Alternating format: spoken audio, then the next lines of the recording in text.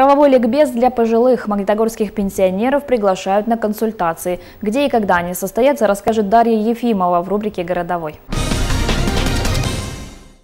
О пенсии и льготах 15 августа в Магнитогорске пройдут консультации для пожилых горожан. Бесплатно получить ответы на интересующие вопросы может каждый. Консультировать магнитогорцев будут заместители начальника пенсионного фонда. Они помогут решить проблемы, связанные с установлением льгот, наследованием накоплений и участием в софинансировании пенсий. Первый прием пройдет по адресу проспект Пушкина, 19 с 2 до 5 часов дня. Другой состоится на Октябрьской, 32 с 15 до 17 часов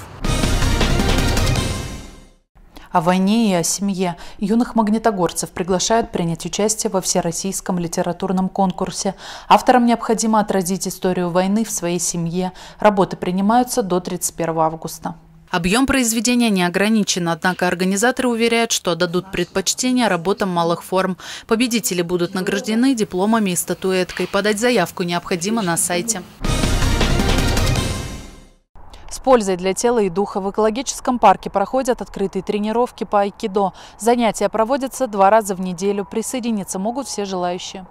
На тренировку могут прийти магнитогорцы любого возраста. Все, что необходимо, удобная спортивная форма. Для собравшихся проведут разминку, покажут специальные упражнения и приемы. Занятие будет длиться около часа. Встречи проходят в понедельник и четверг на хоккейной площадке. Начало 18.30.